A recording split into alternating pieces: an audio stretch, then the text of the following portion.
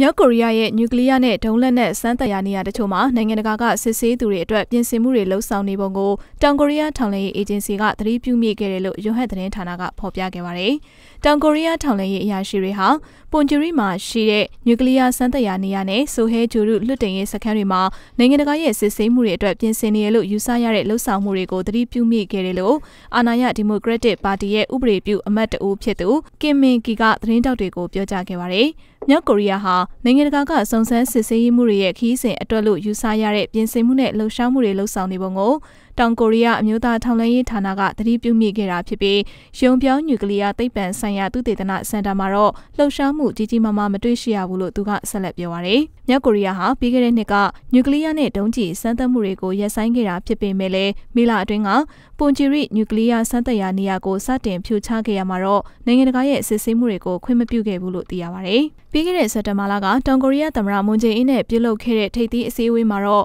မြောက်ကိုရီးယားခေါင်းဆောင်ကင်ဂျုံအန်က